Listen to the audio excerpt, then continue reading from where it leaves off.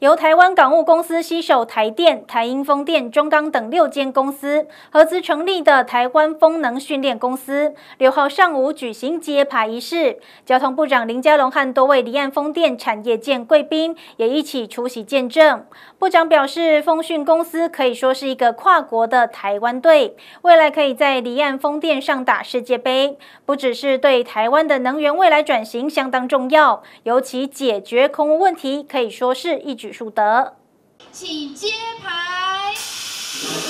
交通部长林佳龙与多位贵宾一同揭牌，宣告风能训练中心正式启用。由台湾港务公司携手台电、台英风电、中钢等六间公司合资成立的台湾风能训练公司，六号上午举行揭牌仪式。在全世界前十五大的呃离岸风电的风场里面，我们就占了七个，而且都主要集中在中部。那台中港啊，它本身就是一个很好的啊商港，啊，整个呃这个周边的产业关联性啊，所有的公共呃基础的设施都非常的完备，哦，所以我们组成的这个台湾风讯中心呢，啊，是一个跨国的台湾队啊，我们可以未来在离岸风电上面打世界杯。不是我们这个就是一个取证的过程，就是他在这边上完课，我们最后一天会有一个考照。然后就考照完之后，我们就直接网络发证，因为我们这个是受到 GW 认证的的训练组织，所以我们可以用自己的公司的名字直接帮他登录，直接发证。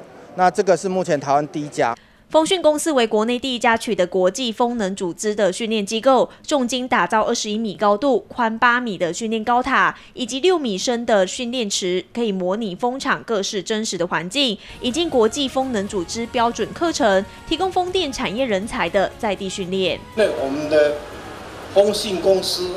取得世界风能组织第一家。专案授权的训练机构，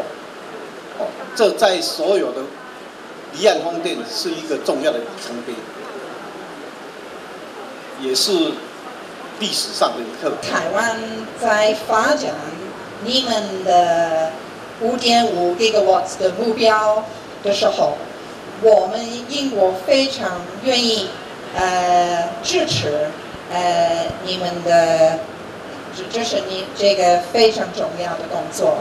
部长表示，风讯公司可说是一个跨国的台湾队，未来可以在离岸风电上打世界杯，不只是对台湾的能源未来转型很重要，尤其解决空污问题，可以说是一举数得。期待地方政府以更高的行政效率，发挥伙伴关系，一起来建设。记者中环台中场报道。